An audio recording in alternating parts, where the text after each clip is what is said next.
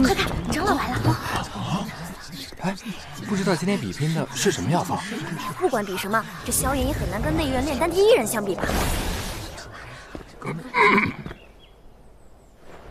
有请今日炼丹比试的参赛者，药帮帮主韩贤。帮主加油！帮主给到我们小子颜色看看！加油！寒门门主萧炎加油！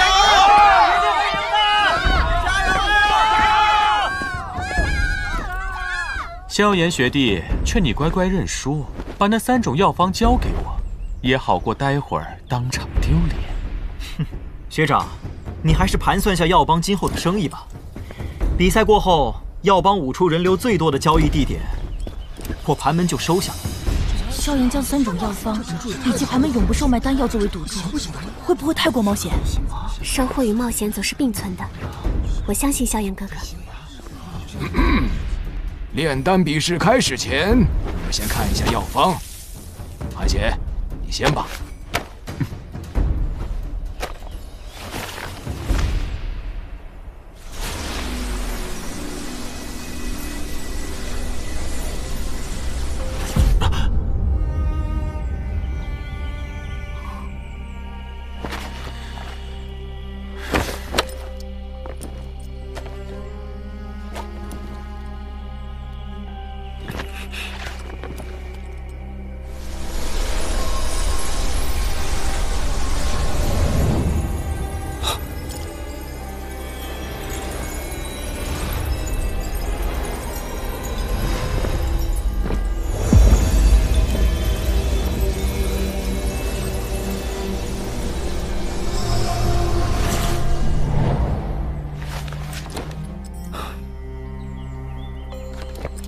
没想到，这次竟会以炼制五品丹药来作为比试。啊，五品丹药，五品丹药，有没有搞错啊？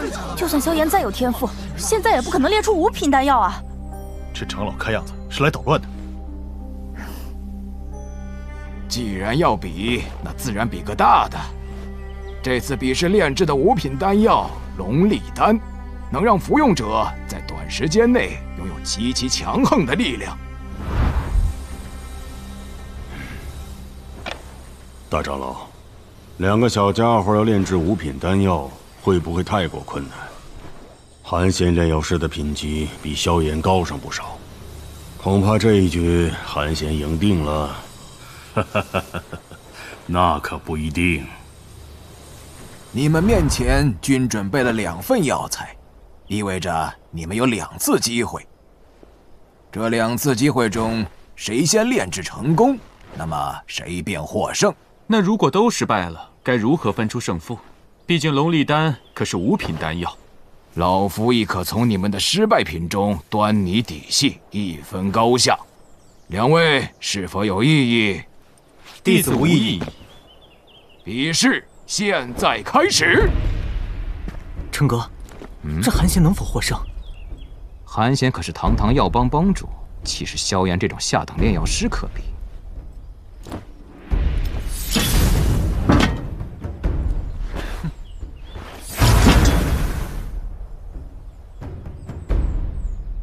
薰儿，你说萧炎这家伙怎么连个像样的药鼎都没有？药鼎只是外物辅助，最终靠的还是炼药师自己。异火的威力实在太大，这些低阶药鼎确实难以承受这种热度。希望这东西能坚持到最后吧。这金色的火焰是什么呀？从来没见过，好神奇啊！我这火焰名为幻金火，是从七阶幻金蝎龙兽的壳骸中寻得。七阶幻金蝎龙兽，那可是媲美斗宗强者的超级魔兽。又说破壳而出后，这幻金火会残留在壳骸之中，三天之后便会燃尽，所以必须在三天内将其寻得。哼，这大千世界果然无奇不有。异火仅有两次机会急不得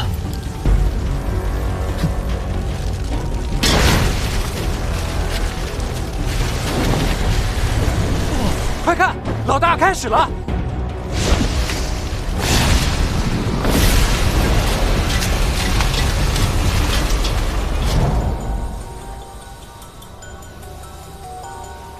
我看韩显很不错，他的火焰虽比萧炎的异火差了些，但炼药师不仅仅只靠火焰取胜。炼丹并非讲究速度，而是需要一颗不为外物所动的心。若是不能势头持久，那还不如从一开始便稳抓稳打。该你了。炼制之前，必须熟悉所有药材的特性，施以最合适的温度，方能提炼出所有精华。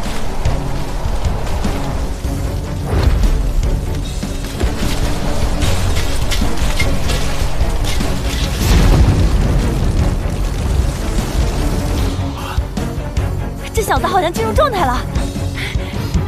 谋定而后动，加油啊，萧炎！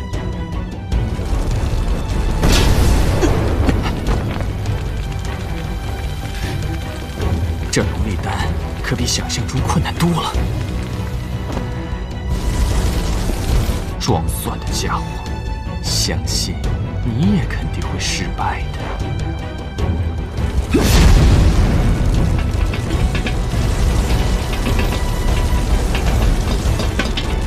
不好！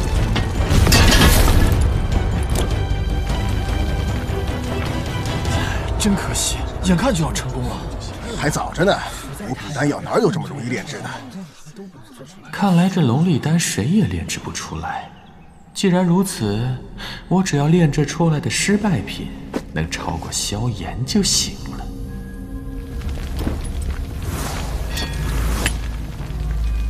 不愧是五品丹药，看来还要更加小心。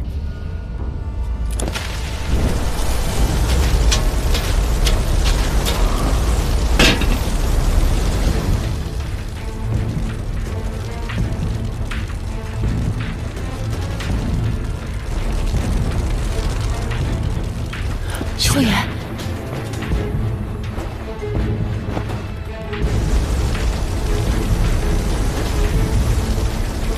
什么味儿？好香啊！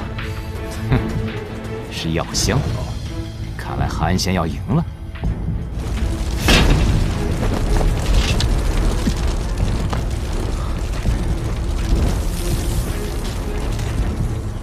虽然只是半成品，但总比完全失败来得好。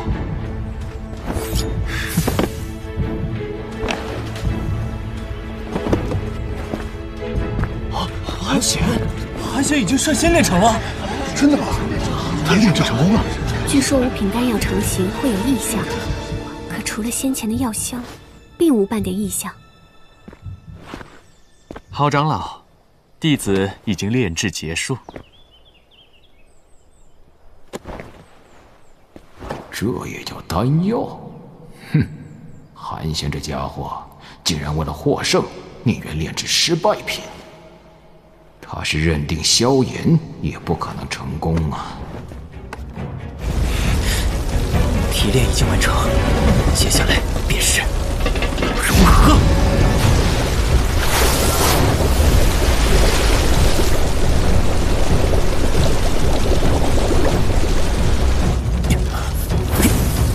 给我凝！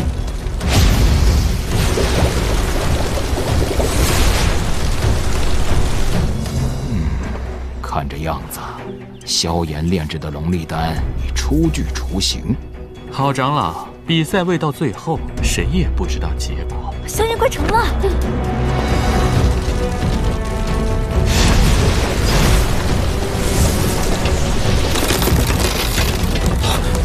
快吧，又要炸炉！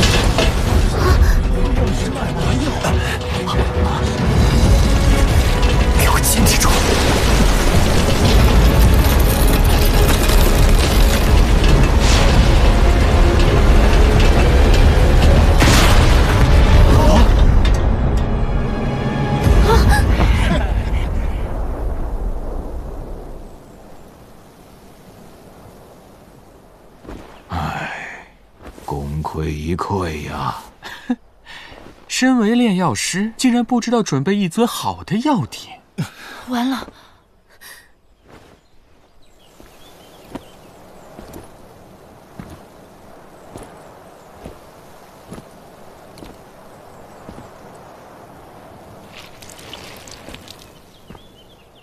萧炎学弟，炼丹失败乃是常有之事，你也不用介怀。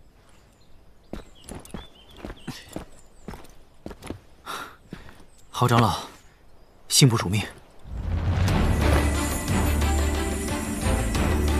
啊，不可能！这家伙肯定是趁先前爆炸升起烟雾时作弊了。郝长老，请您检查吧，免得有人不服。韩仙同学，请注意你的言辞，是非公正，我自会定夺。药香没问题，色泽和外观都能说明这是一颗炼制成功的龙力丹。嗯，我宣布，这次炼药比试，萧炎胜。没想到萧炎居然这么厉害，内院炼药第一人，这下有一主了。哈哈哈哈哈哈！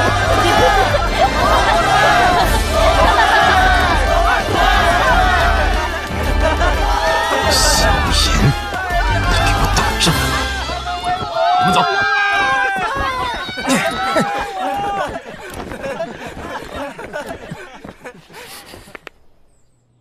棋要一步一步下，路也要一步一步走。萧炎这小家伙不简单呐！唉。在下输得心服口服，还是大长老独具慧眼。能炼制五品丹药的炼药师，其价值可媲美斗王乃至斗皇。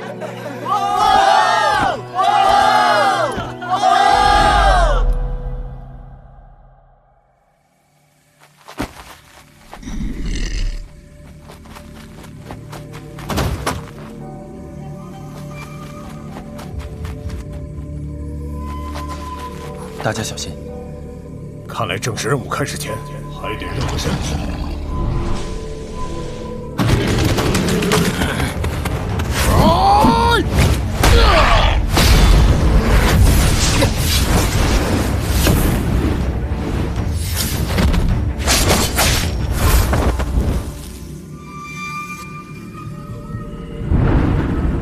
看来我们要加快速度了。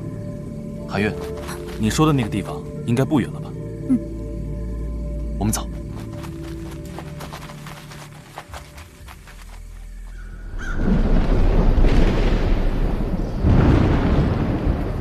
老师，寒门总算进入正轨，我也该去深山修炼它了。嗯，修炼三千雷动的第一步，便是要炼化卷轴中封印的那一丝风雷之力。不过这风雷之力颇为霸道，稍有不慎。便会有被反噬的危险。萧炎，你准备好了吗？异火分身我都挺了过来，这风雷之力，我要定了。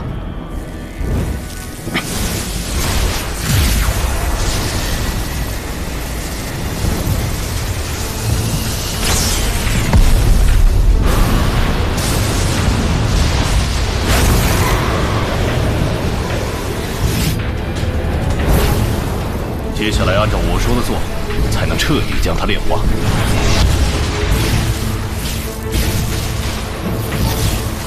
凝，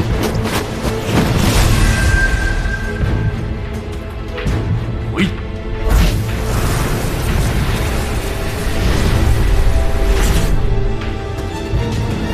风雷之力已经进入你体内了，赶紧炼化。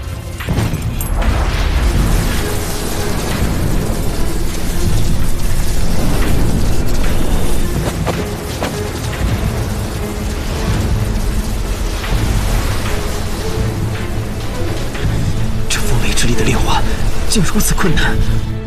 它可是天地间产出的能量，你用青莲地心火试试。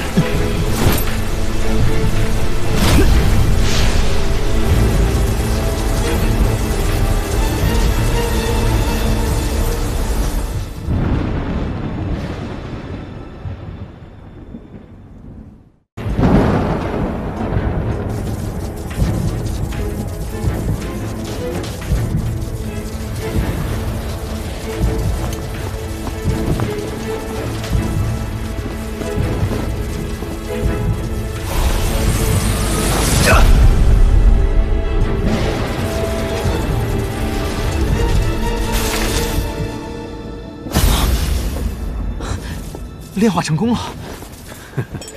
这是自然。你当人人都有异火来镇压风雷之力吗？紫云意未展开，我我为何能在空中停留？这是由于你体内灵魂力量强横，风雷之力受斗气催动，集中于脚步的结果。不过以你现在的实力，应该坚持不了多久。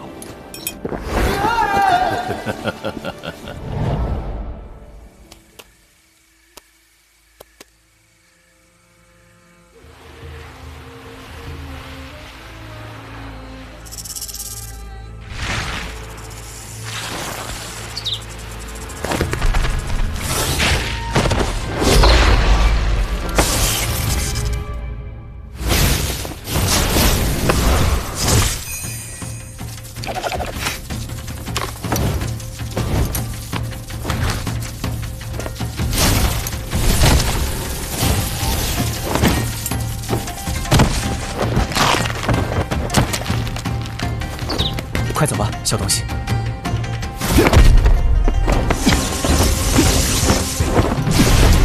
三千雷动，静如磐石，动如奔雷，出其不意，借势杀敌。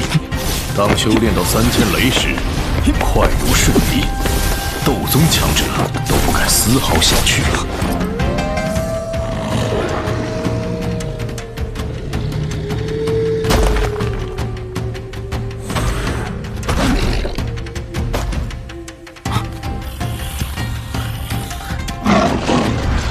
看来是准备打群架了。哼，正好拿你们练练手。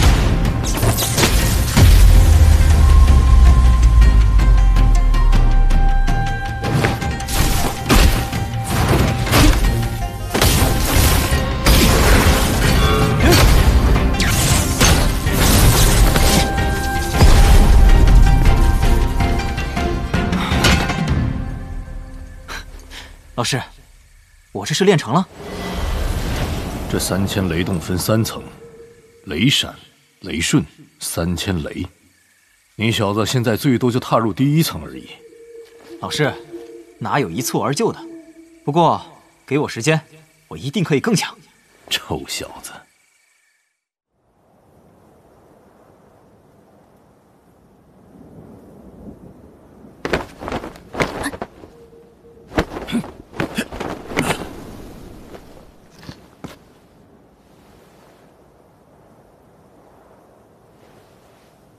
皓月，里面真有你所说的那东西？严浩学长放心，我清楚其中的危险，定不会拿这种事来开玩笑。严浩，你也不用太过怀疑，再有四个月时间便是强榜大赛了。若是山谷之中真有那东西，那对我们的好处可不小。林修雅，你说的倒是轻松，里面可是有媲美斗王强者的魔兽。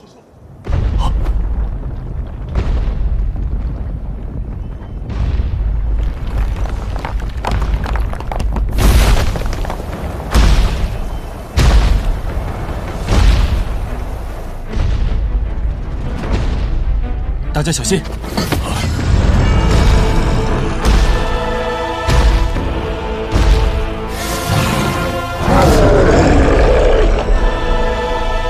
速战速决！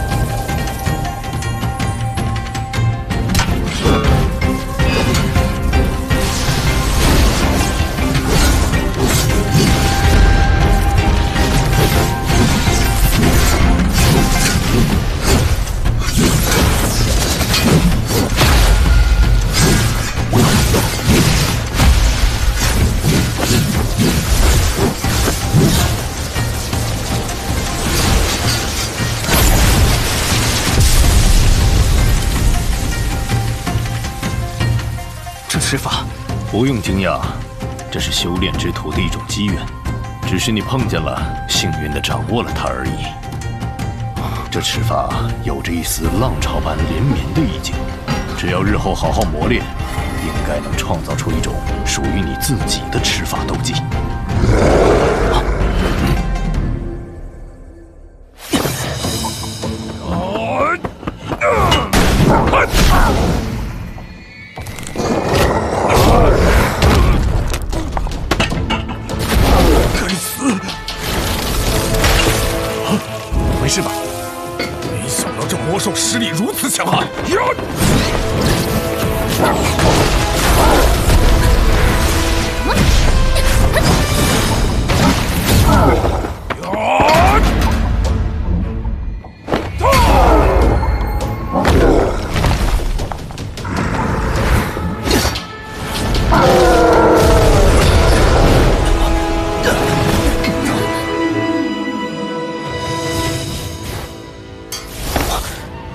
这就是老师提到的血魔天元吗？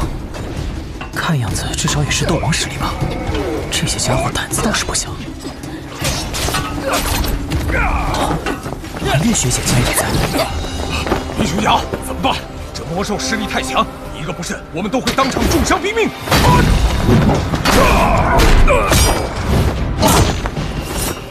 不必与他缠斗，我们三人尽量拖住他。谭月，你趁机进入后方峡谷内去寻找那东西。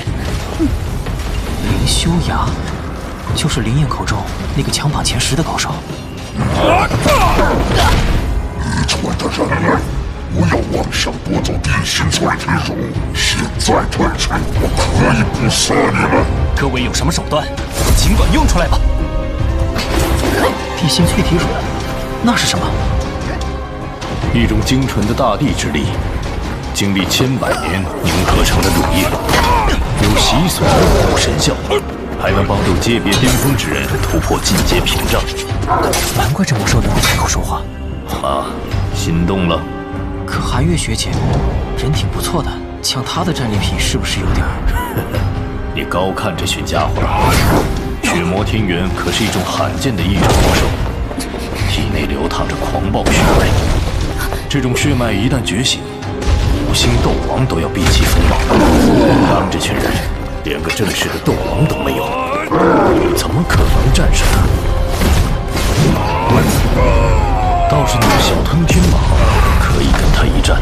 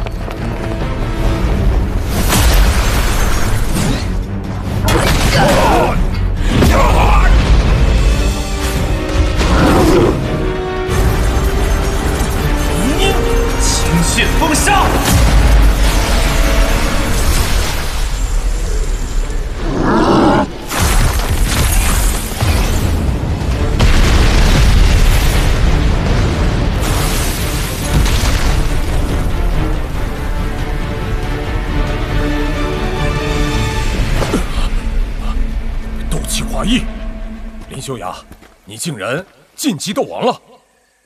不过是危急之下，用功法勉强凝聚出的斗气之意而已。哈，原来不是斗气化翼。你要是斗王，那强榜大赛我们还打什么打？原来是依靠像紫云翼一样的功法。林学长，那我们赶紧进去寻找地心淬体乳吧。是啊，还等什么？等一下，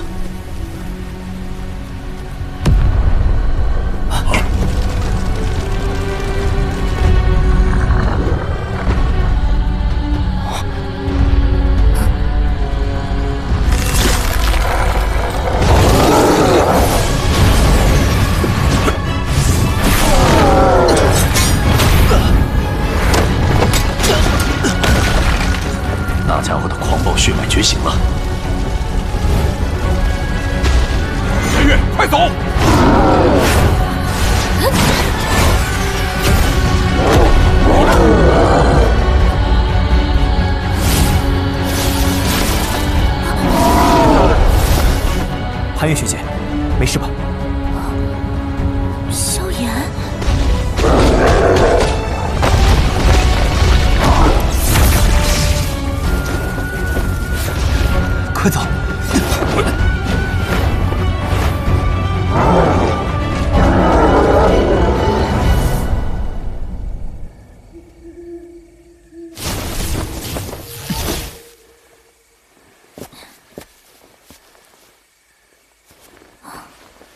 才几月不见，你倒变强了许多。先前那般速度，内院中能超过你的人，恐怕没有多少。啊几位学长没事吧？大意了，没想到这血魔天元这么厉害。这位朋友也是内院学生，怎么从没见过？严浩学长，他叫萧炎，是几个月前才进入内院的新生。呃，不会是那个在火能猎捕赛上带领新生打败老生队伍的萧炎吧？哦，原来你就是萧炎啊！当年我和林修崖纷纷败在白煞队手中，你果然有几分本事啊！只是好运而已。萧炎兄弟就别谦虚了。对了，你怎么会在这里？哦，我正巧在山中修炼，听到动静就赶过来了。刚才萧炎兄弟也瞧见了，我们围剿那魔兽，是想得到他守护的一种奇物。所谓见者有份，果真弄到，定少不了兄弟一份。多谢学长好意，但我听说那魔兽体内有着一种狂暴血脉，一旦觉醒，实力便会在短时间内暴涨，就算五星斗王也拿他没有办法。狂暴血脉，难怪了。那现在怎么办？既然这样，只能等我们养好了伤，再想办法吧。萧炎兄弟，是否和我们一起回内院？我来这里是修炼斗技的，如今斗技未成，还不着急返回。嗯今日之事，还请萧炎兄弟不要言于他人。嗯，放心吧，学长，我自有分寸。多谢了。日后有需要帮忙的地方，可以来找我。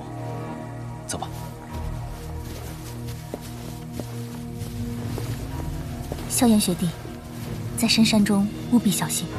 嗯抱歉了，这也是为你们好。继续纠缠下去，一旦血魔天元彻底爆发，你们没人能活着离开。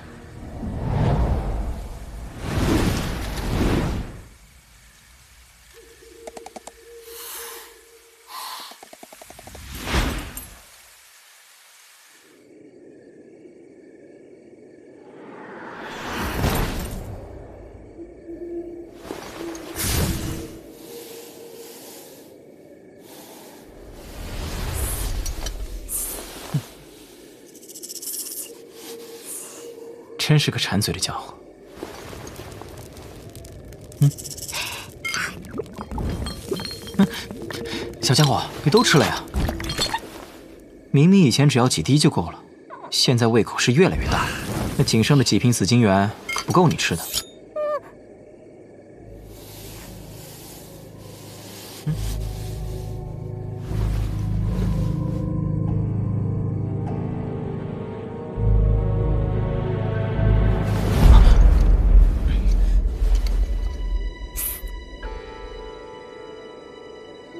小家伙，你可得坚持住啊！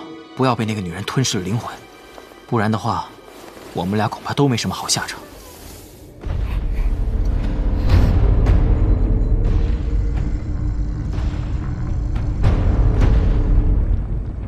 小家伙，接下来看你的了。